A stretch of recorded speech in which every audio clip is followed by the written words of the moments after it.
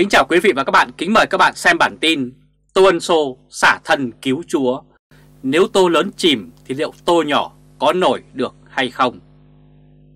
Trong Bộ Công an của Việt Nam hiện nay có nhiều phe phái khác nhau Nhưng đang có hai phe mạnh nhất cạnh tranh quyền lực điều hành bộ này. Nhóm thứ nhất đó là phe của Đại tướng Tô Lâm và Trung tướng Tô Ân Sô. Phe thứ nhì là Thượng tướng Trần Quốc Tỏ và Trung tướng Nguyễn Duy Ngọc.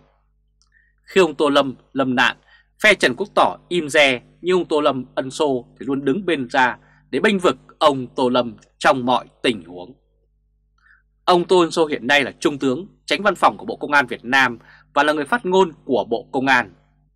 Những ngày qua, ông Tô Lâm đang bị dính vụ hộ chiếu tím than rất phức tạp, ngày một lan rộng trên toàn cầu. Áp lực từ nước ngoài, từ người dân và từ báo chí đang dồn dập đổ về ông Bộ trưởng Bộ Công an Tô Lâm đây là hình ảnh ông Tô Ân Sô, một cánh tay đắc lực của ông Tô Lâm.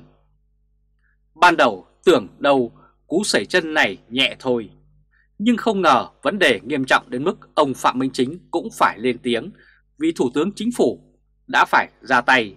Xem ra ông Tô Lâm không cứ cố chấp mãi được, phải có giải pháp để cho cơ quan quản lý nhập cư của nước ngoài không làm khó dễ cho người dân Việt Nam khi đi ra nước của họ. Đây là quyền lợi chính đáng của người dân và là trách nhiệm của người đứng đầu Bộ Công an mà ông Tô Lâm là người đang phụ trách.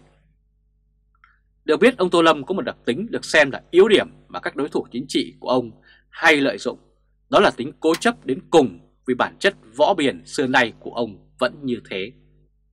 Có những vụ rất nhỏ người ta nhận sai lúc đầu thì vấn đề không bị đẩy đến mức nghiêm trọng, nhưng ông Tô Lâm lại khác, ông rất cố chấp. Và điều này tự làm khó chính ông mà vụ không chịu trách nhiệm sai trong hộ chiếu bìa tím than này là một thí dụ rất rõ nét vì nó đơn giản là thiếu thông tin nơi sinh. Không rõ sự nghiệp chính trị của ông Tô Lâm có trụ được nữa hay không hay là suy yếu qua một sai sót tưởng chừng như nhỏ con như thế. Ông Tô Lâm đang ở thế rất kẹt, tư cách của một bộ trưởng mà lỡ cương rồi, giờ rút lời thì rất xấu hổ vô cùng nếu đem in lại hộ chiếu. Trong lúc này, một ông họ Tô khác đã nhân cơ hội ra mặt đỡ đòn cho ông Tô Lâm Bộ trưởng.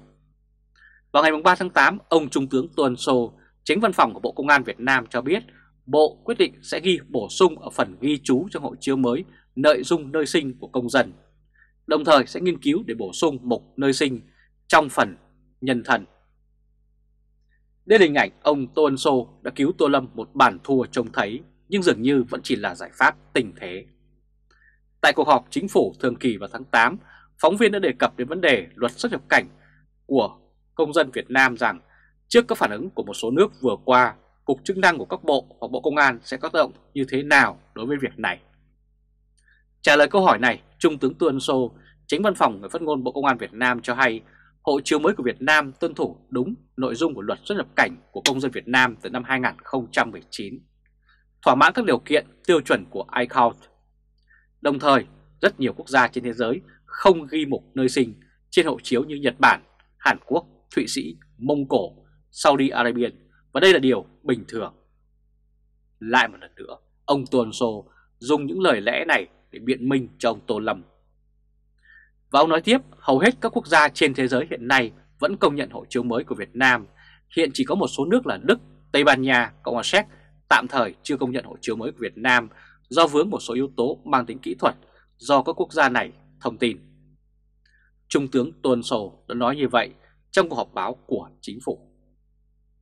Ông nói tiếp, trước mắt để tạo điều kiện thuận lợi, Bộ Công an quyết định sẽ ghi bổ sung ở phần bị trú trong hộ chiếu mới nội dung nơi sinh của công dân mang hộ chiếu nếu cần thiết. Công dân có thể đến Cục xuất nhập cảnh, cơ quan đại diện Việt Nam ở nước ngoài bổ sung thêm.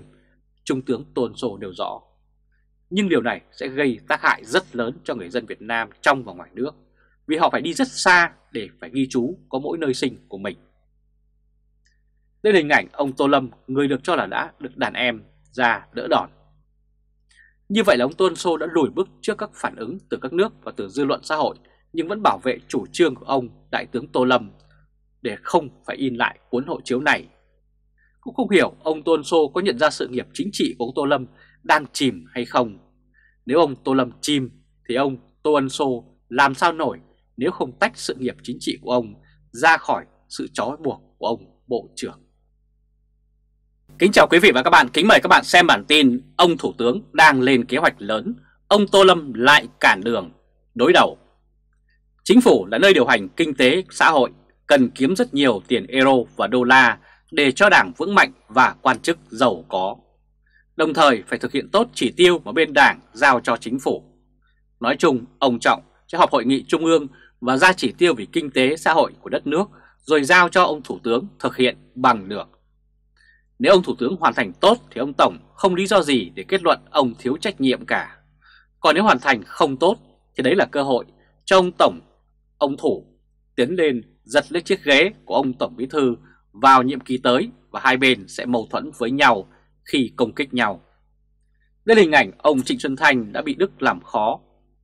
Với Bộ Công an Việt Nam khi bộ này vào năm 2017 đã tổ chức bắt cóc ông ta từ Berlin. Hiện nay Việt Nam có hai thị trường xuất khẩu kiếm ngoại tệ lớn, đó là Mỹ và châu Âu.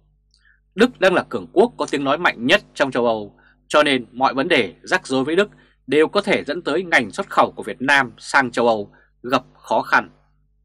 Đấy là vấn đề mà ông Thủ tướng đang lo nhất. Những nước nhỏ bé lên tiếng thì không có trọng lượng, nhưng Đức lên tiếng là ảnh hưởng rất lớn. Ông Tô Lâm chính là người làm cho phía Đức nhiều lần cảm thấy rất bực bội.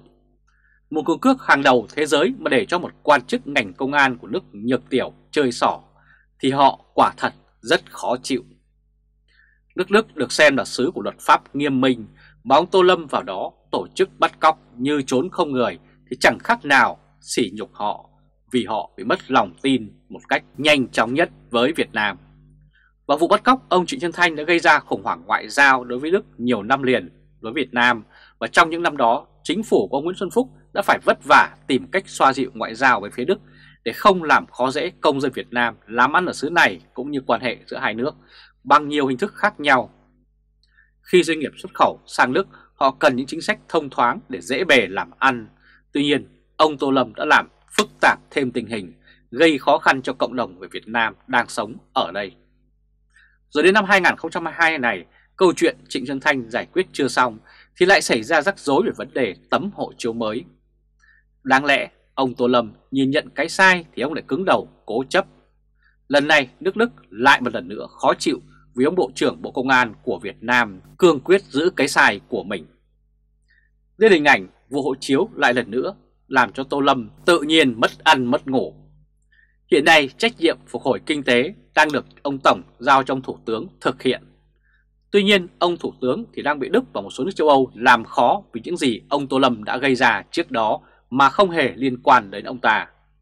Đó là lý do mà ông Thủ tướng phải nắn gân ông Tô Lâm để ông Tô Lâm lùi bước chiều lòng các nước châu Âu đang có ác cảm với Việt Nam và xem ra ông Tô Lâm vẫn còn cứng đầu lắm.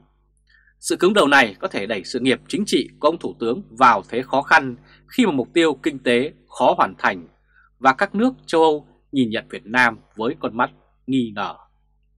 Hiện nay, Tô Lâm đang ỉ lại sự giúp đỡ của ông Tổng Bí Thư và ông Tổng cần ông Tô Lâm cho chiến dịch điều tra tầm củi đốt lò. Ngược lại, ông Tô đang nhờ cậy ông Tổng che chở các vụ tiêu cực đang diễn ra nhắm vào ông ta. Việc ông Tô Lâm làm như thế là đang gây thủ chuốc oán với một trong những thế lực chính trị mạnh nhất hiện nay. Ông Tô Lâm đang không tự lượng sức mình mà quá cứng đầu khi ông Thủ tướng khó khăn chăm bề. Có một số chuyên gia đánh giá rằng ông Tô Lâm lại một lần nữa chứng tỏ ông non về chính trị. Thế lực của ông Tổng Bí Thư là có số một thật, nhưng ông Tổng đã quá già, không còn cưu mang ông Tô Lâm được bao lâu nữa. Tuy thế, lực lượng của ông Thủ tướng lại xếp sau ông Tổng, nhưng ông Thủ tướng đang được ông Nguyễn Tân Dũng vận động ủng hộ vào toàn bộ cánh miền Nam cũng như những ủy viên Trung ương Đảng khác. Và nếu ông Thủ tướng giành được chiếc ghế Tổng Bí Thư thì Nguyễn Thành Nghị sẽ là một suất trong Bộ Chính trị và liên minh với Phạm Minh Chính và Nguyễn Thành Nghị sẽ rất mạnh. Đây hình ảnh Tô Lâm là trung tâm rắc rối của chính phủ. Nếu ông Tô Lâm không cứng đầu với ông Thủ tướng thì khi ông Thủ tướng mạnh lên, ông Tô Lâm sẽ trở thành kẻ thất sủng. Còn nếu như thế này thì tới lúc đó ông Tô Lâm sẽ bị loại ra ngoài lề. Và sự nghiệp chính trị của ông Tô sẽ xuống dốc không phanh. Có thể nói ông Tô đang là vật cản đường lớn nhất với ông Thủ tướng. Làm vậy thì có ngày sẽ đối đầu Và lúc đó ông Tô Lâm khó mà giữ được phong độ như ngày nay cho được. Có thể sẽ phải trả giá đắt.